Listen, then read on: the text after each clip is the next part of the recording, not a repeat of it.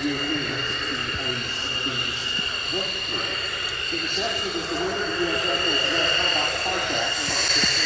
of going to sale of the century for a variety of NATO airlines, procuring mainly to replace the Lockheed F-104 Starfighter, Belgium, Denmark, the Netherlands and Norway compared to giving 348 F-16s, and this really began to set the seal on this aeroplane's success.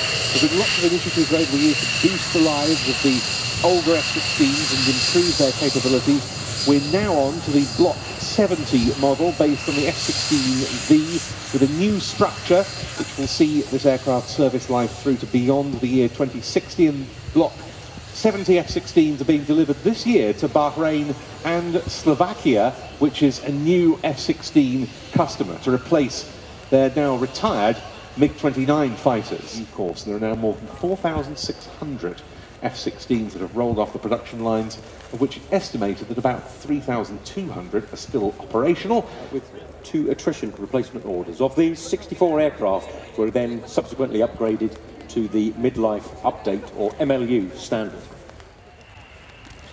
And all the Danish F-16s are now concentrated with fighter wing Skrydstrup. And this one comes to us from 727 Fighter Squadron. Years of the F-16 celebrations at RIAT 2024. And here it is, on the roll.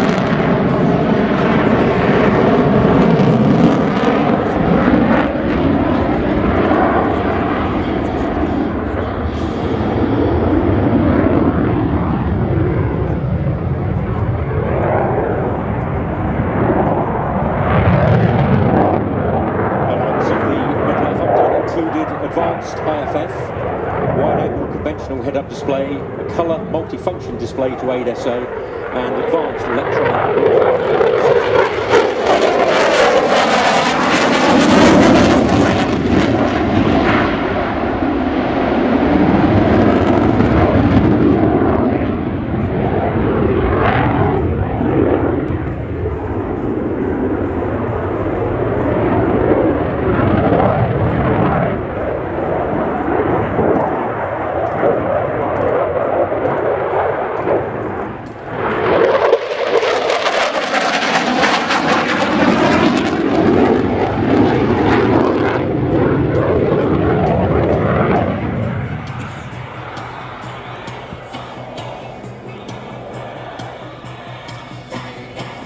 the F-16's life in Danish service coming towards an end, though it's got a little while to go yet. The F-35 Lightning II has been selected as its successor. Denmark is buying 27 of those, and they're aiming for a full operational capability on them in 2027. The first four F-35s for Denmark arrived at their base at Skrydstrup in October of last year. And at the NATO summit held earlier this month, a statement from the Danish and Dutch governments said that F-16s provided by both of those countries are en route to Ukraine and will start operating there with the Ukrainian Air Force this summer.